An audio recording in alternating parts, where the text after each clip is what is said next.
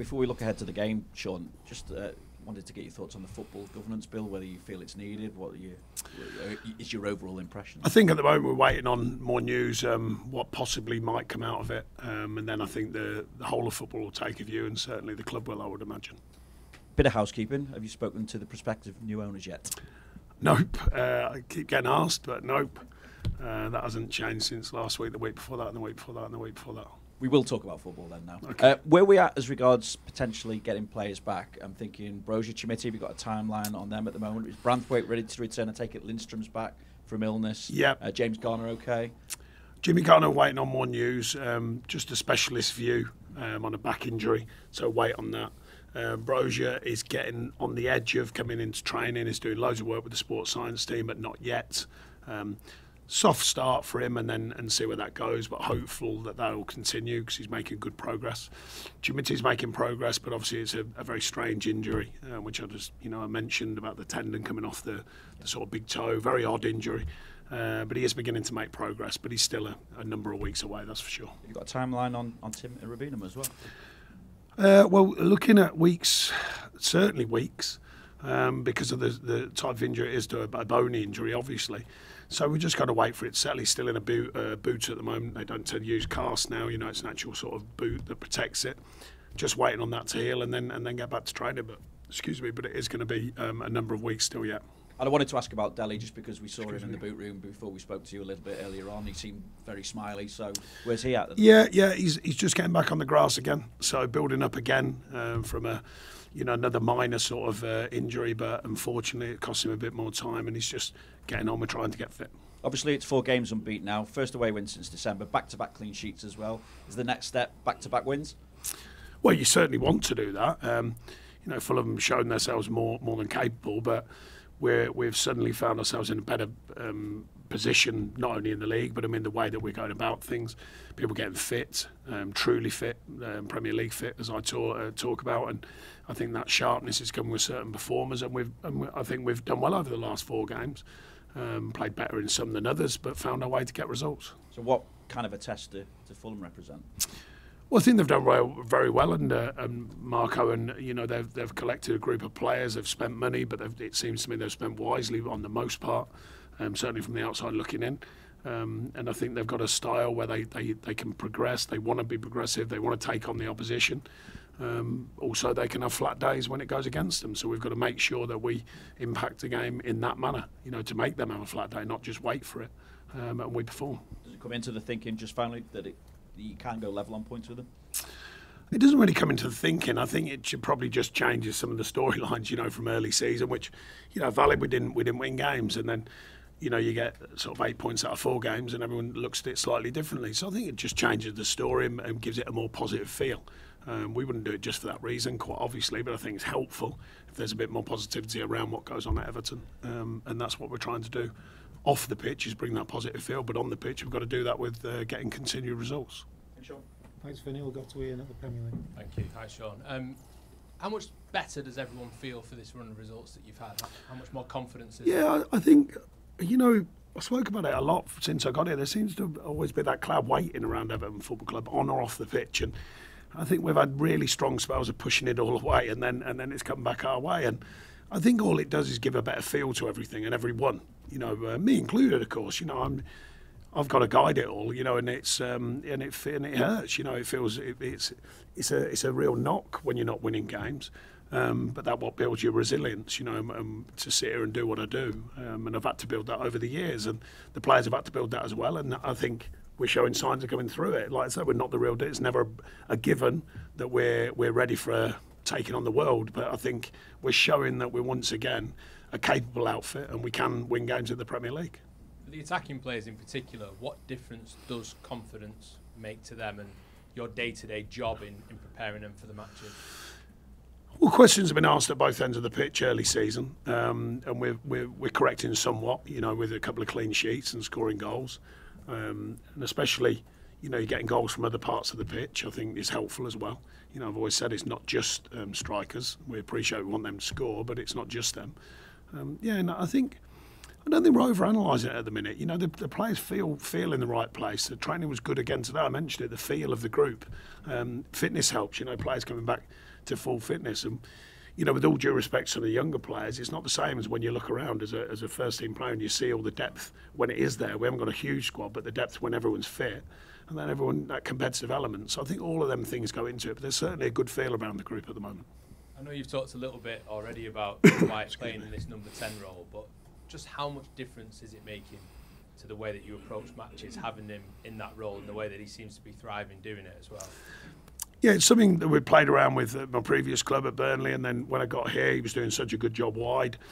Just a different way of giving a technical approach. We couldn't find as many goals early season what we were hoping for. Duke's done a great job in there, and currently doing a good job, slightly deeper. Um, Illy's come in and, and, and done really well on the left, which frees that role up a little bit. So, yeah, I mean, he's he's enjoying it. I think. I, I think there's still a lot for him to learn, particularly on the defensive side of the game. But in attack, we know he can score. We know he can set set goals up. Um, he's shown that, and he, and he's got a, a very strong left foot. So, if we get him in the right areas, it's fair to say I think he'll score more goals. Like you say, he had done it at Burnley previously, not not so much here. What, what is it about his his qualities that mean he's suited to playing this role for you? Well, he's still finding his way somewhat, um, but I think he, he, he's very technical. He can carry the ball, um, you know, out of tight areas, and he can find a pass, and of course, assisting, you know, and finding goals as well. But if you've got that technical quality and you can find them pockets to play in, he's, he's full of energy. He can break the back lines. He's, he's definitely quicker than people think, and you know, he could he could grow into that role. And like I say, with we'd always looked at it. We looked at it last season. We looked at when I first got here. But finding the right role for the team, don't forget, it's not just about him as a player. What what can the team or what does the team need? And they've been doing such a strong job for us in the wide areas that we had to rely on in there. This season, we felt we needed a change, a bit different feel, and spoke with the staff about it, spoke with the player about it. But like I say, he's still learning in that role, but I think he's showing good signs that he can develop that role. And, and still, as last week, he has to adjust and go back wide when we need him to do that as well. Historically, is it something that Dwight's asked to do, or is it something that you and your coaching staff have? No, I think I think like I say, we, we played it a long time ago actually when he was younger at, at Burnley a, a few times, and I remember particularly once away at Palace. I think it was in the pandemic. He did very well playing in that role. We'd looked at it here a couple of times and shifted it during games, and I just thought we we just felt it was time for a change. It give sometimes it gives the team a different dynamic. You know, when you just move one player, it can have a big big effect on the rest of the team. Um, and I think he's enjoying the, the challenge of what it is. Thanks, Sean. Thanks, Ian. We'll go to Shamoon. Hi, Sean. Hi. Uh, a couple of players that have been sort of questioned on social media have been Michael Keane and Ashley Young. How impressed have you been with them in the last few games? I've been impressed not about being questioned. I've been impressed with them since I've known them. I've known them both a long time. Youngie made his debut with me um, many moons ago at Watford, um, and Keno obviously was a young player or younger player when I was at Burnley with him, and I s- I signed him there. So I don't need to worry about that side of things. That's just modern society, modern life. I don't think it's ideal for players, but there it is. That's the way it goes. Um, I think their professionalism has, has been outstanding through through ever since I've been at the club, and I bought obviously Young in. Um, you know, they just continue to get out there, play, play hard, work hard, train hard, all the things you'd want from from proper professionals, and they certainly are proper professionals. What, what does it say about Ashley Young's professionalism and keeping in shape that he can still do it?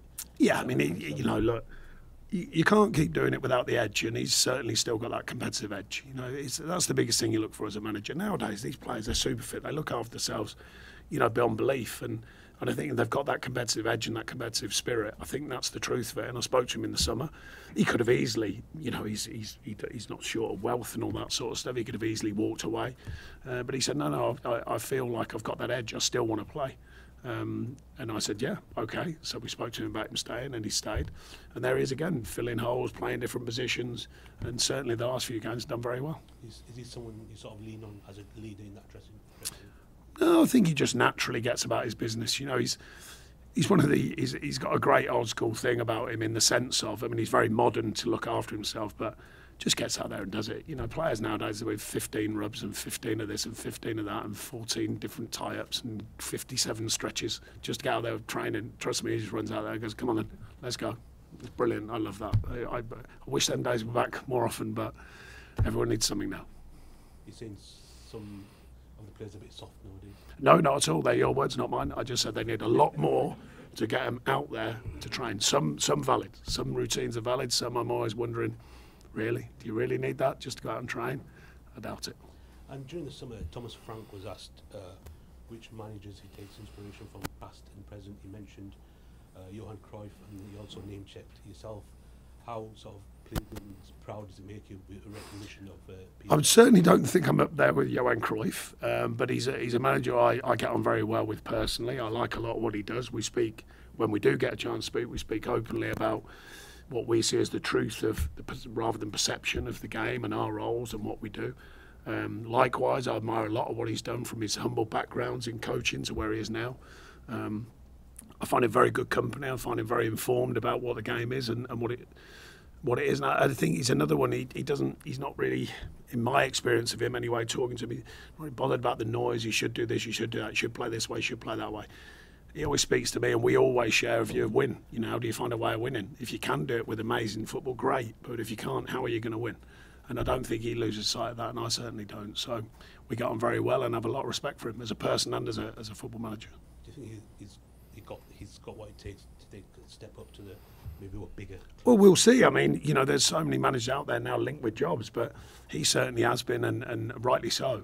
Um, it'd be good to see if it does happen. I'll be the first con- to congratulate him, but let's not show any disrespect to the club he's at. You know, they've been amazing for him as much as he has for them, and the job that Brentford have done in getting to where they've got to. Sometimes it's forgotten. You know, a lot of people there, Matt Benham included, have done a lot of work there to get it to where it's got to, and Thomas has played his part within all of that. No, no doubt about it. And as someone uh, who you get on with so much, uh, does it make it more difficult game or just stand business as usual With who? Sorry. with Thomas? Oh, no, no, I'm not bothered by that. He wants to win. I want to win. End of. Thanks, Shimon. We'll go to Julia. Um, you mentioned there about building resilience. So if you look at the season so far, it was four defeats and then four games without a defeat. And you know, since you've been here, you and the players have probably had to work on resilience, given lots of things that have gone on, a lot of it out of your control. After those four defeats, and everyone, we're all asking you about it, asking you about stats. Did you have to draw on that resilience? Is that a point where you, you did a reset? No, not really. I think it's not just resilience; it's reality. You know, the thing is, with your role as a manager, especially after my years of doing it, you, you learn about the realities, and sometimes the outside perception is not the reality, and you know what really is, and so you've got to manage that yourself wisely. You know, because the outside noise can get very powerful nowadays. Um, but you've got to see through all that, as I call it, and, and look into what the truth of the story is. And I know the truth from inside. I know some of the challenges we have with players, players' fitness, players' form, some personal things as well. You know, you've got to remember there's they're, they're people. You know, people they think, well, they get paid a lot of money. I hear that all the time. Why don't they just get on with it? It's not as simple as that. They're still people. They still have lives. So there's a lot going on behind what the perception is. So you're managing that, but never losing sight of the fact that no one cares. You know, the job is get them to win. That's it. I've never lost sight of that. So when it goes against you, I understand it. I understand some of the questions. I understand the noise. I understand the negativity that builds quickly. But that's part of the job. You know, if you're not on that, don't do it. Because, uh, you know, I, I warn all the young managers when they come into it, if, if they choose to speak to me. I said, be ready for when it's not so good. Everyone can handle the winning. Everyone can handle that bit. But can you handle winning when you're not winning? That's the, the truth of it, really. In the longer run, that is. Can I just check? Is Jarrad Branthwaite in contention for this one? And also, there's yeah, been he's, he's, he's played. He's trained all week. We made a call. I made a call actually on it last week. Decided not to go with him being fit even for the squad because I think it was important for him to have a week's training, a clear week's training, which he has done. So yes, he'll certainly be a part of the squad. So with that, th- there are reports about James Tarkowski having a bit of a back problem maybe this season. Could you could you rotate your centre backs now? You've got almost a luxury of of having some more available. Four very good centre backs, all fighting for the shirt. That will look after itself. Okay. uh, Beto hasn't featured in the last four Premier League games. What more does he have to show you that he could either come off Just the bench and take effect? to learn. You know, Dom's a very good player. We know that. And I think he's active and he's looking active. He's looking bright. I know a couple of the chances hasn't gone in, but he's getting great chances and great moments in games. Um, you know, Beto has to keep working at his game. And Michael Keane, um, I saw some quotes from him talking about, you know, he's, I know a lot of people say he's he's got a fantastic strike on him, and we've seen evidence of that. We saw it at the weekend again. Is it, given you've known him a long time, I know he said he wasn't massively keen on becoming a striker. Did you ever have that conversation with him, and have, have you had it in more recent times about moving him about? Well, we threw him on um, last season, no, the season before. You know, we threw him on up front a few times just to try and disturb the game a little bit. But we know if it lands in the box, he's a calmer finisher as I've seen. Um, and I think he's one of them, he enjoys scoring a goal. you know, he doesn't look nervous in front of goal. He just looks as calm as you like, as calm as a person he often is actually. And so it's a great skill to have. So we know he's a threat. At my previous club, he was a threat from set pieces. We know since I've been here, he's been a threat from set, set pieces. Smashed in against Tottenham, wasn't it? Um, yeah, smashed one in from there, and you think, yeah, it doesn't surprise me. And he finished the other day, didn't surprise me. His calmness on the other end at Burnley last season. He misses the first one, slots the second, you know. It's a good weapon to have in the box, but he's certainly a figure I think can get more goals when he's playing, of course. Thanks, Julie. We'll go to Will.